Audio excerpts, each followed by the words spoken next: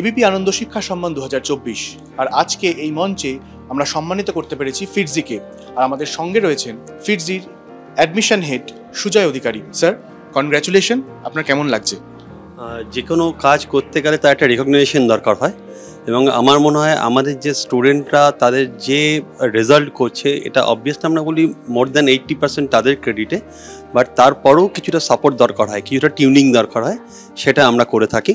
এবং তার জন্য এবিপি আনন্দকে ধন্যবাদ যে এই আমাদের রেকগনাইজেশন যে the best institution for academic preparation of competitive exam ধন্যবাদ।